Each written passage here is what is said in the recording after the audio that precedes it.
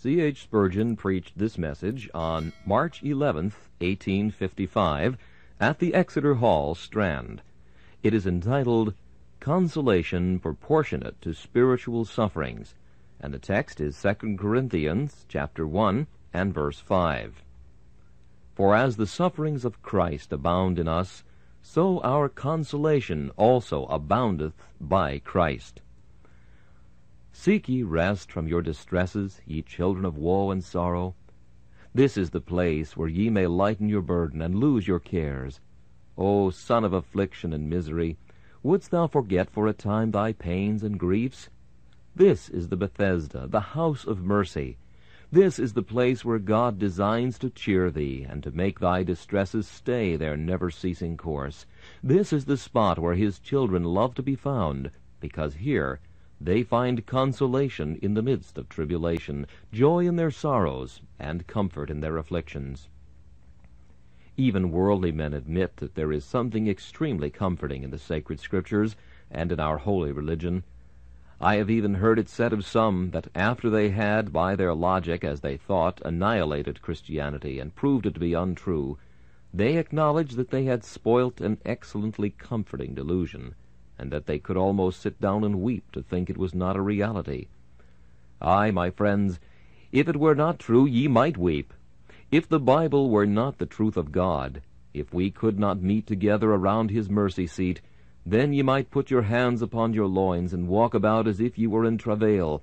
If ye had not something in the world beside your reason, beside the fleeting joys of earth, if ye had not something which God had given to you, some hope beyond the sky, some refuge that should be more than terrestrial, some deliverance which should be more than earthly, then ye might weep. Ah, weep your heart out at your eyes, and let your whole bodies waste away in one perpetual tear. Ye might ask the clouds to rest on your head, the rivers to roll down in streams from both your eyes, for your grief would have need of all the watery things that nature could produce. But blessed be God, we have consolation, we have joy in the Holy Ghost. We find it nowhere else. We have raked the earth through, but we have discovered ne'er a jewel. We have turned this dunghill world o'er and o'er a thousand times, and we have found naught that is precious. But here, in this Bible, here in the religion of the blessed Jesus, we, the sons of God, have found comfort and joy, while we can truly say, As our afflictions abound, so our consolations also abound by Christ. There are four things in my text to which I would invite your attention. The first is the sufferings to be expected the sufferings of Christ abound in us. Secondly, the distinction to be noticed. They are the sufferings of Christ. Thirdly, a proportion to be experienced. As the sufferings of Christ abound, so our consolations abound. And fourthly, the person to be honored. So our consolation aboundeth by Christ. The first division, then, is the sufferings to be expected. Our holy apostle says, The sufferings of Christ abound in us. Before we buckle on the Christian armor, we ought to know what that service is which is expected of us.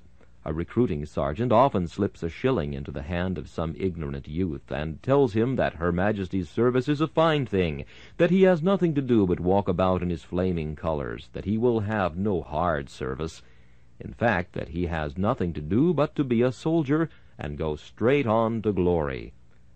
But the Christian sergeant, when he enlists a soldier of the cross, never deceives him like that. Jesus Christ himself said, Count the cost. He wished to have no disciple who was not prepared to go all the way, to bear hardness as a good soldier. I have sometimes heard religion described in such a way that its high coloring has displeased me. It is true her ways are ways of pleasantness, but it is not true that a Christian never has sorrow or trouble. It is true that light-eyed cheerfulness and airy-footed love can go through the world without much depression and tribulation. But it is not true that Christianity will shield a man from trouble, nor ought it to be so represented. In fact, we ought to speak of it the other way. Soldier of Christ, if thou enlisteth, thou wilt have to do hard battle. There is no bed of down for thee. There is no riding to heaven in a chariot. The rough way must be trodden. Mountains must be climbed. Rivers must be forded. Dragons must be fought. Giants must be slain. Difficulties must be overcome. And great trials must be borne. It is not a smooth road to heaven, believe me. For those who have gone but a very few steps therein have found it to be a rough one. It is a pleasant one. It is the most delightful in all the world. But it is not easy in itself. It is only pleasant because of the company, because of the sweet promises on which we lean, because of our beloved who walks with us through all the rough and thorny breaks of this vast wilderness. Christian, expect trouble. Count it not strange concerning the fiery trial, and as though some strange thing had happened unto thee. For as truly as thou art a child of God, Thy Saviour hath left thee for his legacy, In this world ye shall have tribulation, in me ye shall have peace.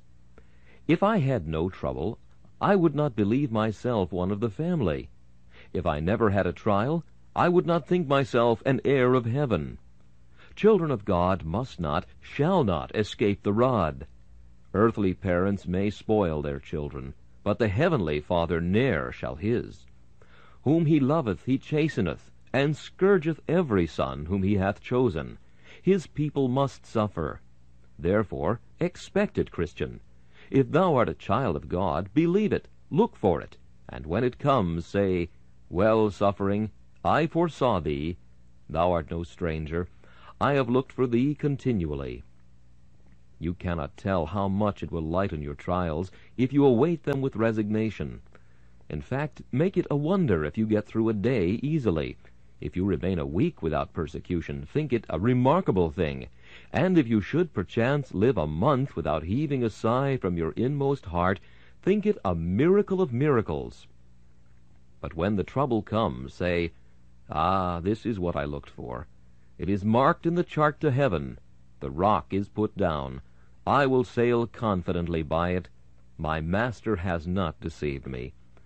Why should I complain of want or distress, temptation or pain? He told me no less. But why must the Christian expect trouble?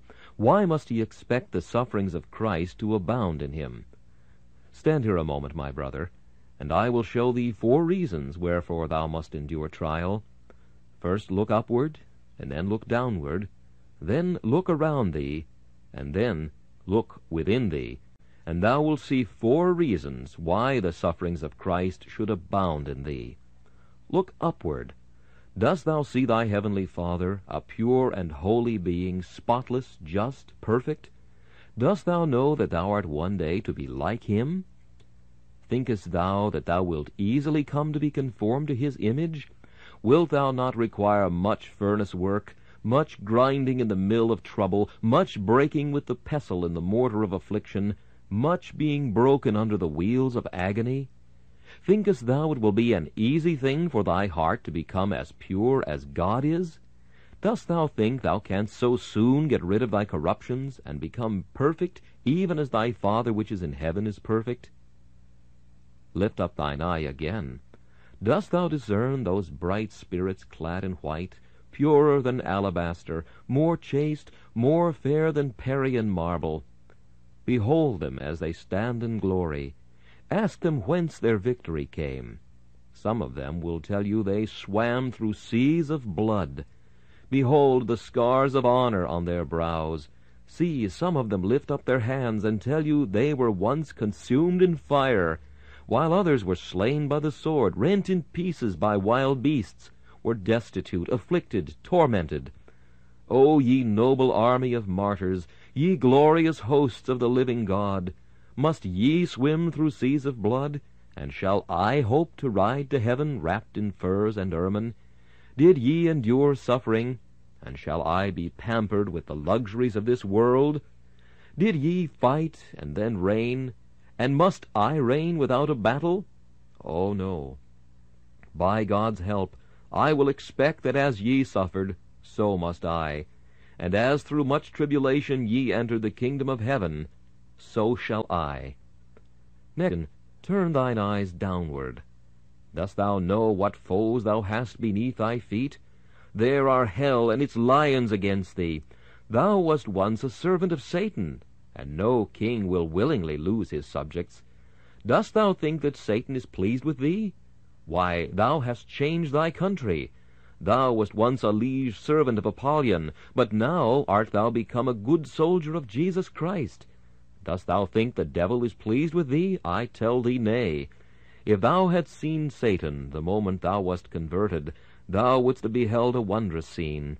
As soon as thou gavest thy heart to Christ, Satan spread his bat-like wings, down he flew into hell, and summoning all his counselors, he said, Sons of the pit, true heirs of darkness, ye who erst were clad in light, but who fell with me from high dignities, another of my servants has forsaken me, I have lost another of my family, he is gone over to the side of the Lord of hosts.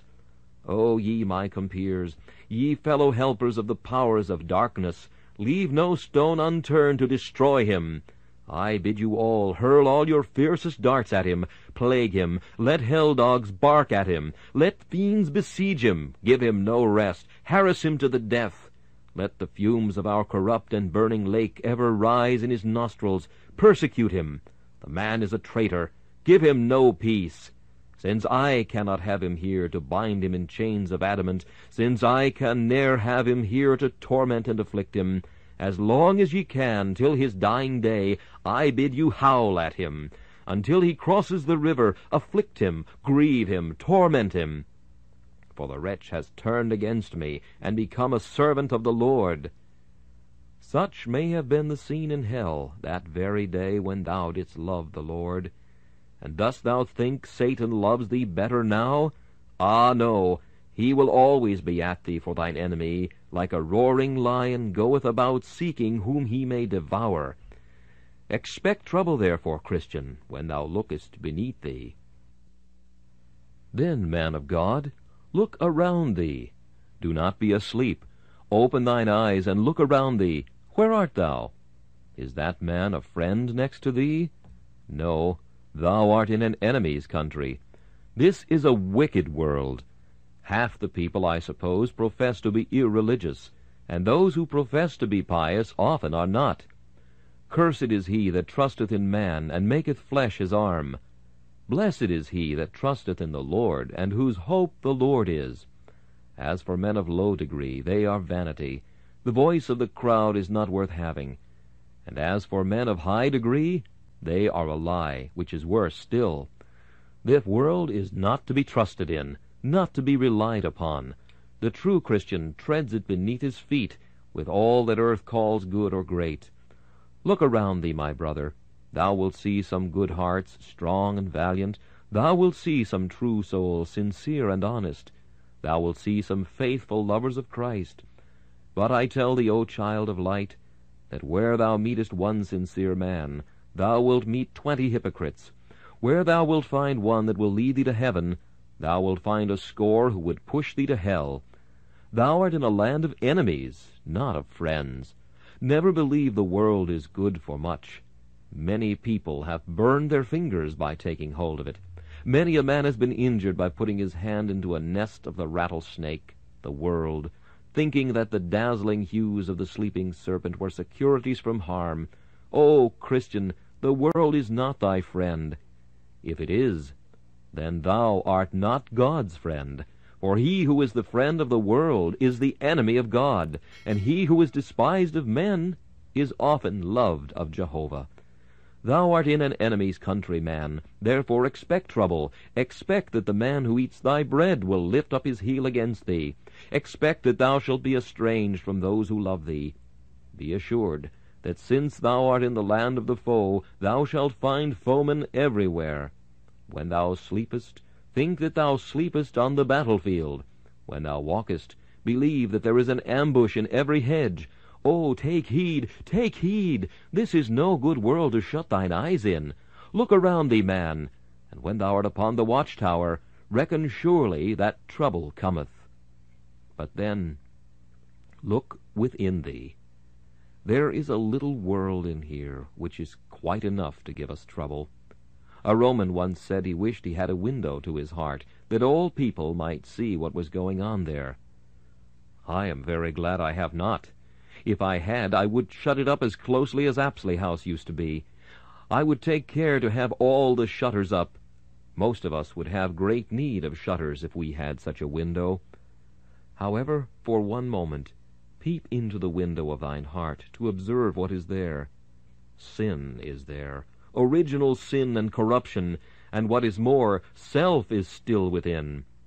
Ah, if thou hadst no devil to tempt thee, thou wouldst tempt thyself. If there were no enemies to fight thee, thyself would be thy worst foe. If there were no world, still thyself would be bad enough. For the heart is deceitful above all things, and desperately wicked. Look within thee, believer, Know that thou bearest a cancer in thy very vitals, that thou carriest within thee a bombshell, ready to burst at the slightest spark of temptation. Know that thou hast inside thy heart an evil thing, a coiled-up viper, ready to sting thee and bring thee into trouble and pain and misery unutterable. Take heed of your heart, Christian, and when thou findest sorrow, trouble, and care, look within and say, Verily, I may well receive this, considering the evil heart of unbelief which I carry about with me. Now dost thou see, brother Christian? No hope to escape trouble, is there? What shall we do then? There is no chance for us. We must bear suffering and affliction. Therefore, let us endure it cheerfully. Some of us are the officers in God's regiments, and we are the mark of all the riflemen of the enemy. Standing forward, we have to bear all the shots. What a mercy it is that not one of God's officers ever fall in battle. God always keeps them.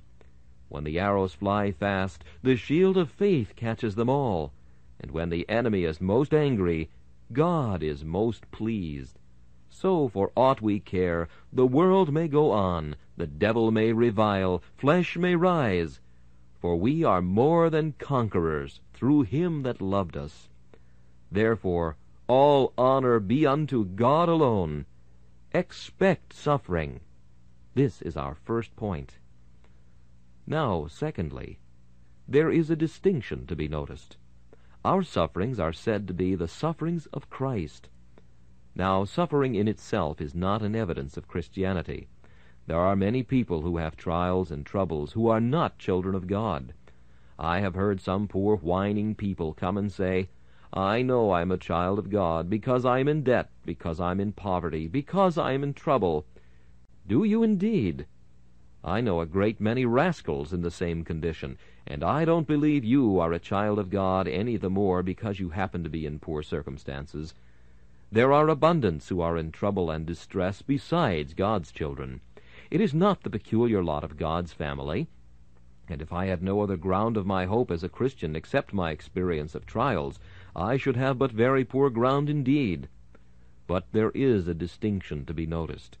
Are these sufferings the sufferings of Christ, or are they not? A man is dishonest, and is put in jail for it. A man is a coward, and men hiss at him for it. A man is insincere, and therefore persons avoid him. Yet he says he is persecuted. Persecuted! Not at all. It serves him right. He deserves it. But such persons will comfort themselves with the thought that they are the dear people of God because other people avoid them, when it so happens that they just deserve it. They do not live as they ought to do. Therefore the world's punishment is their desert. Take heed, beloved, that your sufferings are the sufferings of Christ. Be sure they are not your own sufferings, for if they are, you will get no relief. It is only when they are the sufferings of Jesus that we may take comfort. Well, you say, what is meant by our sufferings being the sufferings of Christ? You know the word Christ in the Bible sometimes means the whole church with Christ, as in 1 Corinthians 12, verse 12, and several other passages which I cannot just now remember, but you will call to mind a scripture where it says, I fill up that which is behind of the sufferings of Christ for his body's sake, which is the church. Now, as Christ the head had a certain amount of suffering to endure, so the body must also have certain weight laid upon it. Our afflictions are the sufferings of Christ mystical, the sufferings of Christ's body, the sufferings of Christ's church. For you know that if a man could be so tall as to have his head in heaven and his feet at the bottom of the sea, it would be the same body, and the head would feel the sufferings of the feet. So, though my head is in heaven, and I am on earth, my griefs are Christ's griefs, my trials are Christ's trials, my afflictions he suffers. I feel at my heart all thy sighs and thy groans, for thou art most near my flesh and my bones. In all thy distresses thy head feels the pain, yet all are most needful, not one is in vain. The trials of a true Christian are as much the sufferings of Christ as the agonies of Calvary. Still, you say, we want to discern whether our troubles are the trials of Christ. Well, they are the trials of Christ if you suffer for Christ's sake. If you are called to endure hardness for the sake of the truth, then those are the sufferings of Christ. If you suffer for your own sake, it may be a punishment for your own sins. But if you endure for Christ's sake, then they are the trials of Christ. But, say some, is there any persecution nowadays? Do any Christians have to suffer for Christ's sake now? Suffer, sirs? Oh, yes. I could a tale unfold this morning if I pleased, of bigotry unsufferable, of persecution well nigh as bad as that in the days of Mary. Only our foes have not the power and the law on their side. I could tell you of some who, from the simple fact that they choose to come and hear this despised young man, this ranting fellow, are to be looked upon as the offscouring of all things. Many are the persons who come to me who have to lead a miserable and unhappy life simply because from my lips they heard the word of truth. Still, despite all that is said, they will hear it now. I have, I am sure, many before me whose eyes would drop with tears if I were to tell their history. Some who have privately sent me word of how they have to suffer for Christ's sake, because they choose to hear whom they please. Why, is it not time that men should choose to do as they like? If I do not care to do just as other ministers do, have I not a right to preach as I please? If I haven't, I will, that is all. And have not other parties a right to hear me, if they like, without asking the lords and governors of the present day whether the man is really clerical or not? Liberty! Liberty! Let persons do as they please. But liberty? Where is it? Ye say it is in Britain. It is in a measure, but not thoroughly. However, I rejoice that there are some who say, Well, my soul is profited, and let men say what they will. I will hold hard and fast to truth, and to the place where I hear the word to my soul's edification. So, dear hearts, go on, go on, and if ye suffer for Christ's sake, they are Christ's sufferings. If ye come here simply because you gain anything by it, then your sufferings would be your own. But since there is nothing to gain but the profit of your own souls, still hold on, and whate'er is said, your persecution will but win you a brighter crown in glory. Ah, Christian, this ennobles us. My brethren, this makes us proud and happy to think that our trials are the trials of Jesus, Oh, I think it must have been some honor to the old soldier who stood by the Iron Duke in his battles to be able to say, We fight under the good old Duke who has won so many battles, and when he wins, part of the honor will be ours. Christian, thou fightest side by side with Jesus. Christ is with thee.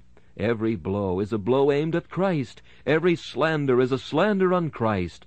The battle is the Lord's. The triumph is the Lord's. Therefore, still on to victory.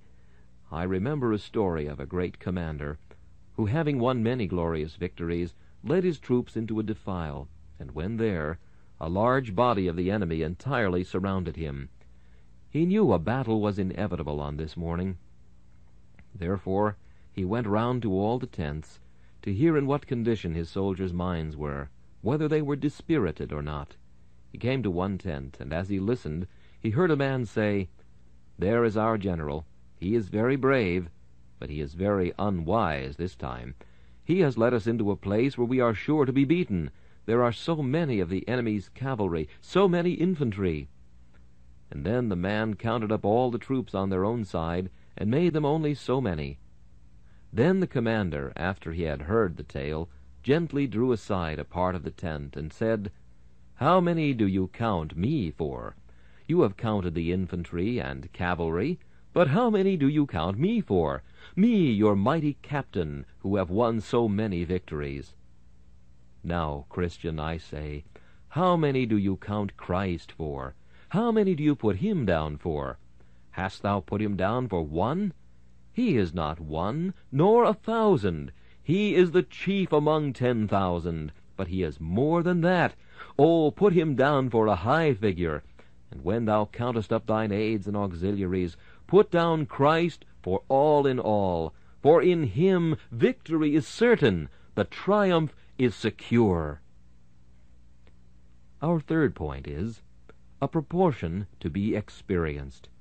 As the sufferings of Christ abound in us, so the consolations of Christ abound. Here is a blessed proportion. God always keeps a pair of scales. In this side he puts his people's trials, and in that he puts their consolations. When the scale of trial is nearly empty, you will always find the scale of consolation in nearly the same condition. And when the scale of trials is full, you will find the scale of consolation just as heavy.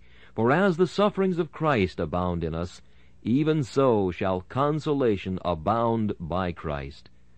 This is a matter of pure experience. Some of you do not know anything at all about it. You are not Christians. You are not born again. You are not converted. Ye are unregenerate, and therefore ye have never realized this wonderful proportion between the sufferings and the consolations of a child of God. Oh, it is mysterious that when the black clouds gather most, the light within us is always the brightest. When the night lowers and the tempest is coming on, the heavenly captain is always closest to his crew. It is a blessed thing when we are most cast down then it is when we are most lifted up by the consolations of Christ. Let me show you how. The first reason is because trials make more room for consolation. There is nothing makes a man have a big heart like a great trial. I always find that little miserable people whose hearts are about the size of the grain of mustard seed never have had much to try them.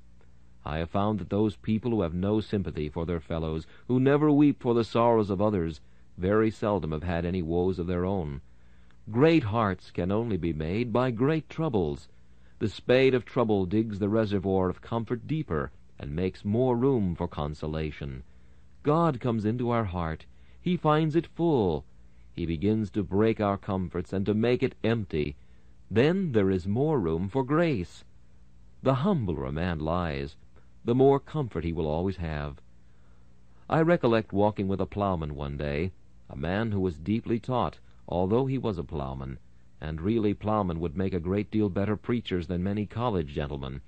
And he would say to me, Depend upon it, my good brother, if you or I ever get one inch above the ground, we shall get just that inch too high. I believe it is true, for the lower we lie, the nearer to the ground we are, the more our troubles humble us, the more fit we are to receive comfort and God always gives us comfort when we are most fit for it. That is one reason why consolations increase in the same ratio as our trials. Then again, trouble exercises our graces, and the very exercise of our graces tends to make us more comfortable and happy. Where showers fall most, there the grass is greenest. I suppose the fogs and mists of Ireland make it the Emerald Isle. And wherever you find great fogs of trouble and mists of sorrow, you always find emerald green hearts, full of the beautiful verdure of the comfort and love of God. O Christian, do not thou be saying, Where are the swallows gone? They are gone, they are dead. They are not dead. They have skimmed the purple sea and gone off to a far land. But they will be back again by and by, Child of God, say not the flowers are dead. Say not that winter has killed them and they are gone. Ah, no! Though winter has coated them with ermine of its snow, they will put up their heads again and will be alive very soon. Say not, child of God, that the sun is quenched because the cloud hath hidden it. Ah, no, he is behind there, brewing summer for thee. For when he cometh out again, he will have made the clouds fit to drop in April's showers, all of them mothers of sweet May flowers. And oh, above all, when thy God hides his face, say not that he has forgotten thee. He is but tarrying a little while to make thee love him better. And when he cometh, thou shalt have joy in the Lord, and shalt rejoice with joy unspeakable. Waiting exercises our grace. Waiting tries our faith. Therefore wait on in hope. For though the promise tarry, it can never come too late. Another reason why we are often most happy in our troubles is this. Then we have the closest dealings with God. I speak from heart knowledge and real experience. We never have such close dealings with God as when we are in tribulation. When the barn is full, a man can live without God. When the purse is bursting with gold, we somehow can do without so much prayer. But once take your gourds away, you want your God. Once cleanse away the idols out of the house, then you must go and honor Jehovah. Some of you do not pray half as much as you ought. If you are the child of God, you will have the whip, and when you have that whip, you will run to your father. It is a fine day, and the child walks before its father. But there is a lion in the road. Now he comes and takes his father's hand. He could run half a mile before him when all was fine and fair. But once bring the lion, and it is Father, Father, as close as he can be. It is even so with the Christian. Let all be well, and he forgets God. Jeshurun waxes fat, and he begins to kick against God. But take away his hopes, blast his joys, let the infant lie in the coffin, let the crops be blasted, let the herd be cut off from the stall, let the husband's broad shoulder be in the grave, let the children be fatherless. Then it is that God is a God indeed. Oh, strip me naked, take from me all I have, make me poor, a beggar, penniless, helpless. Dash that cistern in pieces, crush that hope, quench the stars, put out the sun, shroud the moon in darkness, and place me all alone in space, without a friend, without a helper. Still, out of the depths will I cry unto thee, O God. There is no cry so good as that which comes from the bottom of the mountains, no prayer half so hearty as that which comes up from the depths of the soul, through deep trials and afflictions. Hence they bring us to God, and we are happier. For that is the way to be happy, to live near to God, so that while troubles abound, they drive us to God, and then consolations abound. Some people call troubles weights. Verily they are so. A ship that has large sails and a fair wind needs ballast. Troubles are the ballast of a believer. The eyes are the pumps which fetch out the bilge water of his soul and keep him from sinking. But if trials be weights, I will tell you of a happy secret. There is such a thing as making a weight lift you. If I have a weight chained to me, it keeps me down. But give me pulleys and certain appliances, and I can make it lift me up. Yes, there is such a thing as making troubles raise me towards heaven. A gentleman once asked a friend concerning a beautiful horse of his, feeding about in the pasture with a clog on its foot, Why do you clog such a noble animal? Sir, said he, I would a great deal sooner clog him than lose him.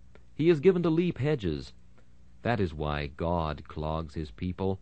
He would rather clog them than lose them. For if he did not clog them, they would leave the hedges and be gone.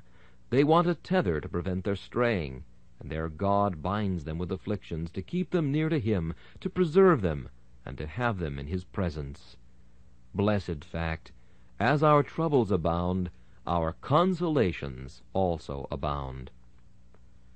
And now we close up with our last point, and may the Holy Ghost once more strengthen me to speak a word or two to you. There is a person to be honored. It is a fact that Christians can rejoice in deep distress. It is a truth that put them in prison, and they still will sing. Like many birds, they sing best in their cages. It is true that when waves roll over them, their soul never sinks. It is true they have a buoyancy about them which keeps their heads always above the water, and helps them to sing in the dark, dark night, God is with me still. But to whom shall we give the honor? To whom shall the glory be given? Oh, to Jesus, to Jesus! For the text says it is all by Jesus. It is not because I am a Christian that I get joy in my trouble, not necessarily so. It is not always the fact that troubles bring their consolations, but it is Christ who comes to me. I am sick in my chamber. Christ cometh up the stairs. He sitteth by my bedside, and talketh sweet words to me. I am dying. The chilly, cold waters of Jordan have touched my foot. I feel my blood stagnate and freeze. I must die. Christ puts his arms around me and says, Fear not, beloved. To die is to be blessed.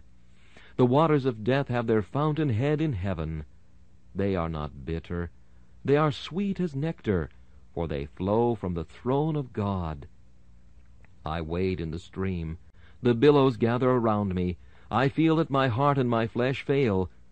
But there is the same voice in my ears. Fear not. I am with thee. Be not dismayed. I am thy God.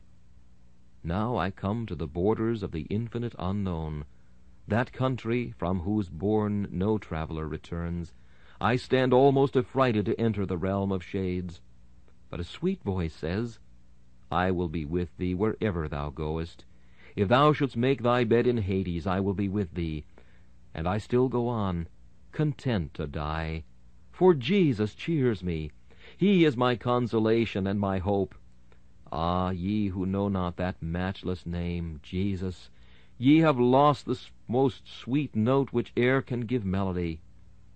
Ah, ye who have never been entranced by the precious sonnet contained in that one word, Jesu, ye who know not that Jesu means I E S U, I ease you, ye have lost the joy and comfort of your lives, and ye must live miserable and unhappy.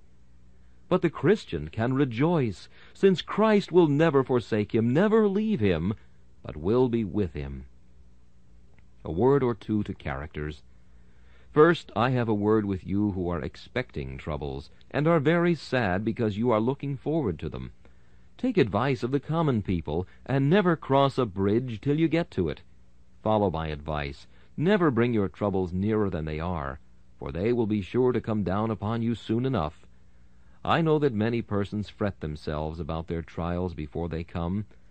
What on earth is the good of it? If you will show me any benefit in it, I will say go on. But to me it seems quite enough for the father to lay the rod on the child without the child chastising itself. Why should you do so? You who are afraid of trouble, why should you be so? The trial may never overtake you, and if it does come, strength will come with it. Therefore up with thee, man, who art sitting down groaning because of thy forebodings. Religion never was designed to make our pleasures less. Out on thee, up, up! Why wilt thou sit down and be frozen to death? When trouble comes, then fight it. With manful heart and strong, plunge into the stream, accoutred as thou art, and swim through. But oh, do not fear it before it comes. Then, Christian, in trouble, I have a word to say with thee. So, my brother, thou art in trouble. Thou art come into the waves of affliction, art thou? No strange thing is it, brother. Thou hast been there many times before. Ah, but sayest thou, this is the worst I ever had. I have come up here this morning with a millstone round my neck. I have a mine of lead in mine heart. I am miserable. I am unhappy. I am cast down exceedingly. Well, but, brother, as thy troubles abound, so shall thy consolation. Brother, hast thou hung thy harp upon the willows? I am glad thou hast not broken the harp altogether. Better to hang it on the willows than to break it. Be sure not to break it. Instead of being distressed about thy trouble, rejoice in it. Thou wilt then honor God. Thou wilt glorify Christ. Thou wilt bring sinners to Jesus, if thou wilt sing in the depths of trouble. For then they will say, there must be something in religion after all, otherwise the man would not be so happy. Then one word to with you who are almost driven to despair. I would stretch my hands out if I could this morning, for I believe a preacher ought to be like Briareus, with a thousand hands to fetch out to his hearers one by one and speak to them. There is a man here quite despairing, almost every hope gone. Brother, shall I tell thee what to do? Thou hast fallen off the main deck. Thou art in the sea, the floods surround thee. Thou seemest to have no hope. Thou catchest at straws. What shalt thou do now? Do? Why, lie upon the sea of trouble, and float upon it. Be still, and know that God is God, and thou wilt never perish. All thy kicking and struggling will sink thee deeper. But lie still, for behold, the lifeboat cometh. Christ is coming to thy help. Soon he will deliver thee, and fetch thee out of all thy perplexities. Lastly, some of you have no interest in this sermon at all. I never try to deceive my hearers by making them believe that all I say belongs to all who hear me. There are different characters in God's Word. It is yours to search your own hearts this day, and see whether ye are God's people or not. As the Lord liveth, before whom I stand, there are two classes here. I do not own the distinction of aristocratic and democratic. In my sight and in God's sight every man is alike. We are made of one flesh and blood. We do not have china gentlemen and earthenware poor people. We are all made of the same mold of fashion. There is one distinction, and only one. Ye are all either the children of God or the children of the devil. Ye are all either born again or dead in trespasses and sins. It is yours to let the question ring in your ears, Where am I? Is yon black tyrant with his fiery sword my king? Or do I own Jehovah Jesus as my strength, my shield, my Savior? I shall not force you to answer it. I shall not say anything to you about it. Only answer it yourselves. Let your heart speak. Let your soul speak. All I can do is propose the question. God apply it to your souls. I beseech him to send it home and make the arrow stick fast. Is Jesus mine? I am now prepared to meet with what I thought most hard. Yes, let the winds of trouble blow, and comforts melt away like snow. No blasted trees, nor failing crops can hinder my eternal hopes. Though creatures change, the Lord's the same. Then let me triumph in His name. This message, Consolation Proportionate to Spiritual Sufferings, was preached by Charles Haddon Spurgeon on March 11, 1855. This is Charles Kelsch inviting you to join me again for another message from the Prince of Preachers.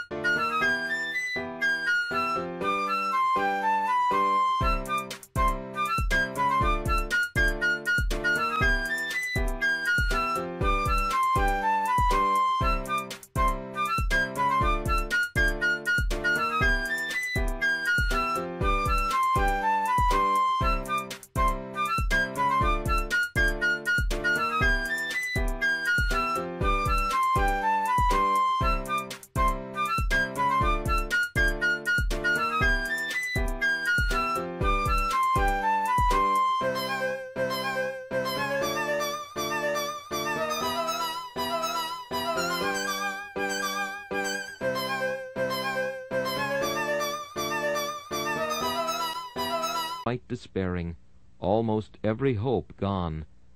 Brother, shall I tell thee what to do? Thou hast fallen off the main deck. Thou art in the sea, the floods surround thee. Thou seemest to have no hope. Thou catchest at straws. What shalt thou do now? Do?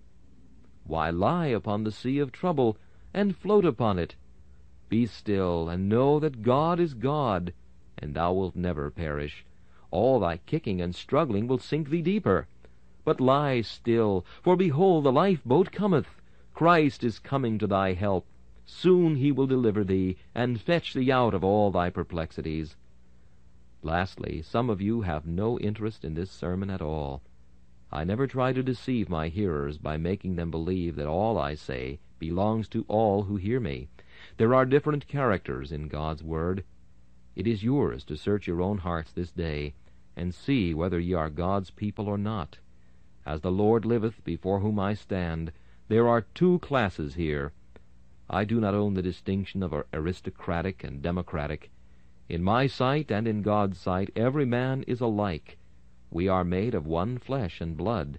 We do not have china gentlemen and earthenware poor people. We are all made of the same mold of fashion.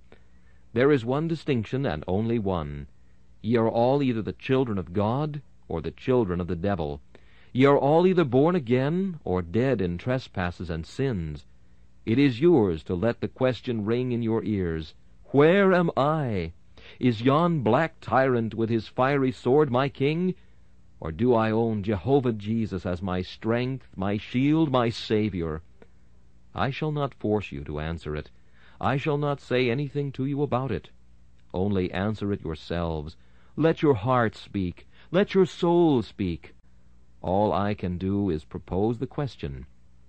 God apply it to your souls. I beseech him to send it home and make the arrow stick fast. Is Jesus mine? I am now prepared to meet with what I thought most hard. Yes, let the winds of trouble blow, and comforts melt away like snow. No blasted trees, nor failing crops can hinder my eternal hopes. Though creatures change, the Lord's the same. Then let me triumph in His name. This message, Consolation Proportionate to Spiritual Sufferings, was preached by Charles Haddon Spurgeon on March 11, 1855. This is Charles Kelsch inviting you to join me again for another message from the Prince of Preachers.